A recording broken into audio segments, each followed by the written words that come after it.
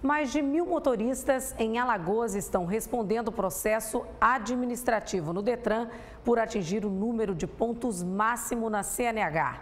E por conta disso, podem ter o direito de dirigir suspenso. O sistema de pontuação da CNH sofreu algumas alterações em 2021. Só que poucas pessoas sabem disso. A pontuação da CNH funciona com um acréscimo de pontos na carteira de motorista a cada infração cometida.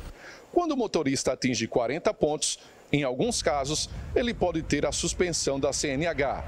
Clécio Santos, assistente de trânsito da chefia de controles de infrações do Detran Alagoas, explicou os detalhes dessas mudanças. A principal alteração ela ocorreu uh, na suspensão por acúmulo de pontos. Anteriormente, o acúmulo de pontos iria até 20 pontos.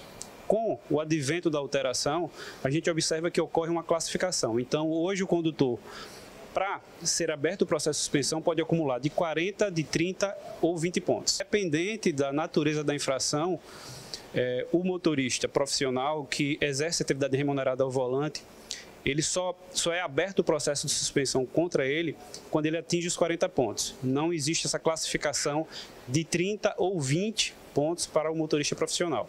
É importante que o condutor fique sempre atento aos pontos na carteira. Eles têm validade de 12 meses. Essa falta de informação pode deixar alguns condutores sem habilitação. Desconhecendo essa alteração, né, o condutor comete atos infracionais, né, não acompanha em seu prontuário quais as infrações que cometeu ou o quantitativo e, eventualmente, pode ter a sua carteira de CNH suspensa, sim. Segundo o Detran, as infrações mais cometidas pelos condutores alagoanos são avançar o sinal vermelho, realizar a convenção em local proibido pela sinalização, transitar na faixa da direita, que foi regulamentada e exclusiva para determinados veículos, dirigir manuseando o celular e estacionar em locais e horários proibidos.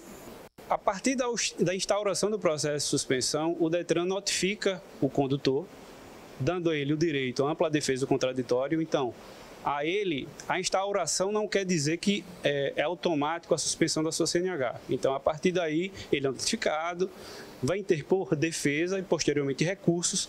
É só na, na conclusão do processo de suspensão sendo indeferido todos os recursos ou a defesa dele, que a sua CNH será suspensa.